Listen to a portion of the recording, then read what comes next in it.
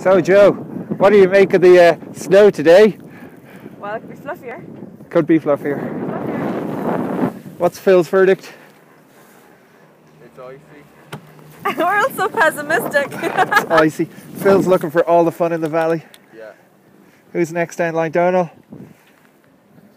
Verdict for the day? Donut's the strongest island type. Oh, yeah, the mysterious dude. Steve? I think the snow is going to be cold. Cold. oh, someone give a positive comment. I think the snow is going to be mostly white. Most